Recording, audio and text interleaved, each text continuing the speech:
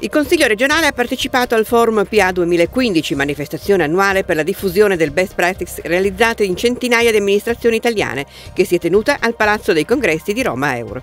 L'Assemblea piemontese ha portato la sua esperienza sull'utilizzo degli open data e delle mappe con Piemonte Viz. È piemontese anche l'istituto vincitore di A Scuola di Open Coesione, il liceo Peano Pellico di Cuneo, che si è distinto per il lavoro di ricerca e analisi sul miglioramento energetico del nuovo ospedale di Alba Bra.